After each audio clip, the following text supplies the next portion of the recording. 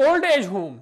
ये अंग्रेज़ी नाम होने के साथ साथ हमें आज तक ये लगता था कि ये जो भी है, वेस्टर्न में है। लेकिन पिछले कुछ दिनों से वादी कश्मीर में ये नाम तेज़ी से गर्दिश कर रहा है।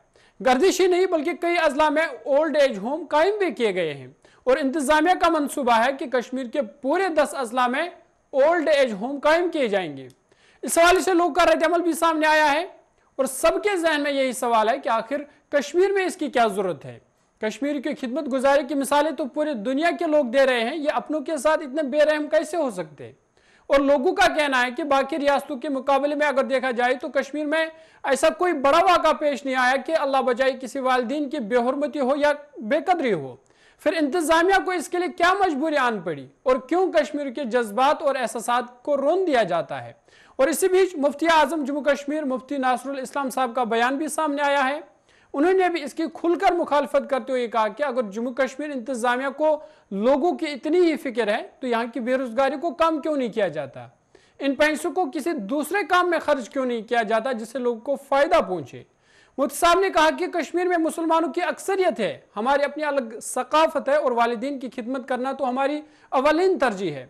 मुफ्ती साहब ने मजीद क्या कुछ कहा वो आपको सुनाते हैं, लेकिन आप इस बारे में क्या राय रखते हैं वो भी बताइएगा। इस मौजू पे मेरा एक बयान पहले भी आ चुका है और मैंने इसकी मुखालफत की है। ये रियासत जो है, ये बुनियादी तौर पे गालिब अक्सरियत यहाँ मुसलमानों की है और हमारे कुछ अकदार है, हमारी सकाफ़त है, इस्लाम के तालीमत पे हमें अमल करना है। हम लोग ये नहीं कर सकते हैं कि अपने माँ बाप को हम अब वो बूढ़े हो चुके हैं किसी ओल्ड एज होम में उनको मुंतकिल कर सकते हैं और उसके बाद वो अपनी अपनी ज़िंदगी गुजारें, हम अपनी ज़िंदगी गुजारें, बल्कि ये नहीं है।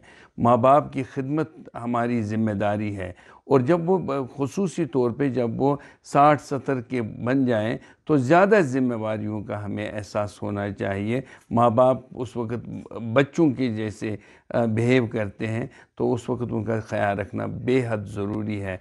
मैं अइम्मा हजरात से गुजारिश करता हूँ कि वो मेहरबानी करके उन मसल की मामला से बाहर आकर मसल की मुनाफरत को फैलाने से दूर हट के इन जैसे मामला को ले लें, इन जैसे मौजूद पे लोगों को आगाह करें कि इसके नतज कितने बुरे और भयानक हो सकते हैं मुस्तबिल में।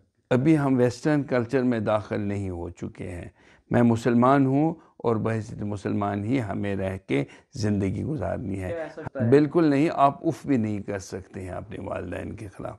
अगर आपने इस तरीके की बात की तो आप अल्लाह ताला की तरफ़ से बहुत ज़बरदस्त सज़ा का ऐलान है इसके लिए और अल्लाह ताला हम सबको इसमें इससे निजात दे। डोमेस्टिक वायलेंस बढ़ने के कुछ कारण हैं। कुछ रीज़न्स हैं। एक रीज़न ये है कि हम लोगों ने अपने अकदार से बिल्कुल मुँह मोड़ लिया है। उनकी तरफ़ कोई तवज्जो हमारी मबजूल नहीं रहती है।